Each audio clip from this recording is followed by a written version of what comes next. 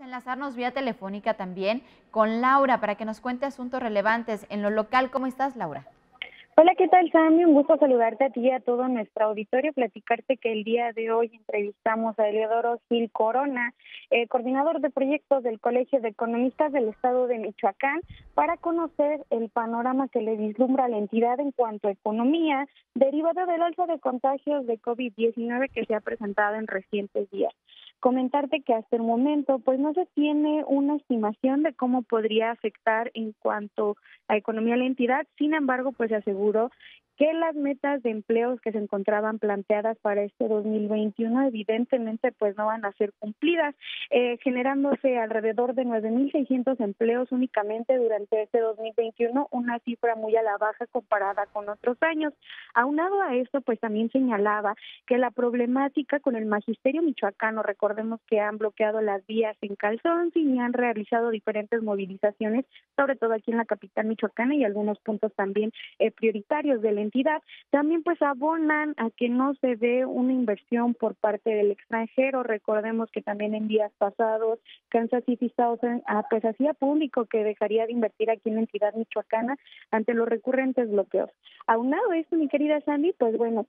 los bloqueos, eh, la retira, el retiro de inversiones, el COVID-19, también la situación de inseguridad, pues evidentemente no abona a que se, se, se invierta aquí en la entidad michoacana, lo cual pues evidentemente está afectando y pues el hecho de que se esté dando un cambio de gobierno, un consejo de transición que no esté bien afianzado, también pues está afectando la economía de los michoacanos. Uno de los puntos que tenemos a favor es que la entidad es una de las que recibe mayormente remesas por parte de Estados Unidos. Esto pues ha abonado a que no se llegue a un grado de pobreza en algunos sectores de la sociedad. Sin embargo, pues está recrudeciendo de nueva cuenta la economía ante la falta de inversión y como te comenté también pues todas estas problemáticas. Sobre el cambio de administración, pues se criticaba el hecho de que no se ha afianzado el, la, el, Consejo de Transición por parte del gobierno del Estado y el gobierno electo, ya que, por recordemos, el gobernador Silvano Aureoles Conejo se ha mantenido en una posición ríspida ante la entrega del gobierno y asegura que, bueno, no va a ser entrega de, a un arco gobierno ante la supuesta intromisión del crimen organizado. Sobre la administración de, Silvano Aureoles Conejo, pues Eliodoro Gil Corona nos comentaba que el crecimiento en este sexenio del gobernador fue de 0. 3.8% y es uno de los más bajos que se han registrado aquí en la entidad desde 1980. Aunado al déficit que, con el que se va a entregar al Estado, pues él señalaba que el gobierno que va a entrar el próximo primero de septiembre tendrá un panorama muy difícil en cuanto a economía, así como también pues inversiones y generación de empleo. Una situación muy complicada, Laura, para la entidad y bueno, también para esta ciudad de Morelia, como bien lo dices. Y debemos decir que en el tema de pobreza, como bien mencionabas, y bien no hemos este, caído en este tenor por el tema de las remesas, sí parece de pronto por la falta de luminarias, que bueno, generan también eh, inseguridad en diferentes zonas y con ello, bueno, que el comercio no, no se reactiva de manera importante y muchas problemáticas que tienen que ver con la administración de manera específica y que bueno, ojalá que también se le preste atención de manera pronta e inmediata.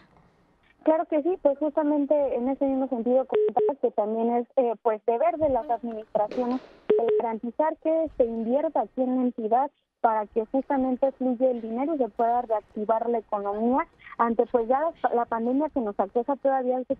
estos problemas que se están presentando. Eh, sí, justamente como mencionaba, las remesas es una parte importante que ayudan aquí a la entidad, ya que pues se estima que son 345 millones de pesos lo que se recibe aproximadamente por parte de la remesa. Estas inversiones pues generan que la entidad no decaiga totalmente en cuanto a su porcentaje y bueno, finalmente comentar que pues espera que el cierre del año pues evidentemente sea difícil ante el déficit. Ya recordemos que se ha anunciado en diversas ocasiones que no se cuenta con los recursos presupuestales para continuar los pagos por parte del magisterio, ya que el, el, el, el Congreso del Estado de Michoacán aprobó una cifra mucho menor a la que es necesaria para poder saldar las nóminas del 2021. Esto en un solo aspecto, más derivado todavía de lo que acontece con los contagios de COVID. los próximos futuros quizás cierres que se realicen ante el alza de contagios y pues evidentemente la situación de inseguridad e incertidumbre que se encuentra en algunos puntos del Estado. Difícil este cierre del 2021 que parecía ser la esperanza y parece que todo se va complicando aún más. Gracias Laura, hasta el día de mañana.